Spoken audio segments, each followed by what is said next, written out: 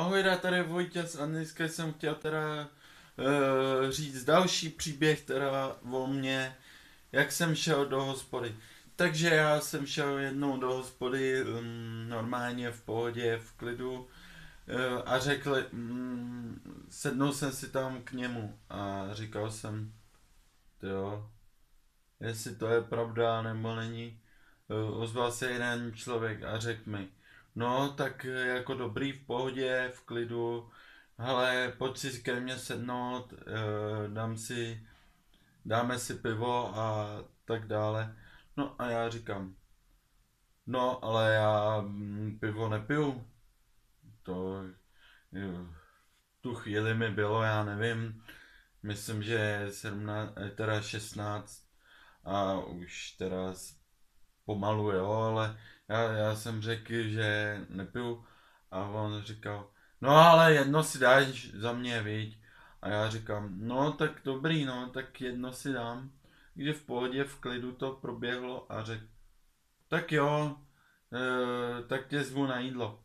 Tak mě zval na jídlo, viď, a potom, potom normálně, když jsem šel, teda od, odcházel z té hospody, ty kráso, já ho normálně, potom jsem ho normálně neviděl.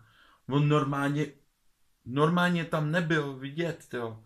Lidi, to není normální, když člověk uh, s tím jde na jídlo a on normálně zmizne z té hospody. Když jsem teda odcházel, tak už tam nebyl vidět. Ty píčo, já si myslím, že to bylo od Boha, jo. Že normálně jsem musel teda to mu říct, jo, tohleto, ať mi dá jídlo a tak dále. Ale je, to bylo normálně dar, jo. Lidi, to není normální, jako takhle normálně zmizne z hospody a ani já ho neviděl, jo. To teda nevím, no.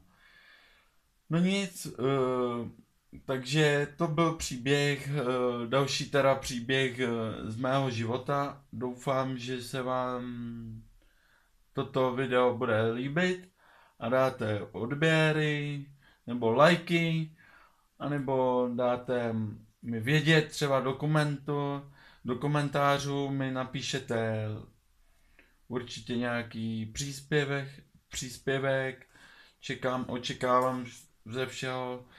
No a doufám, že se vám to líbilo. Takže se mějte a ahoj!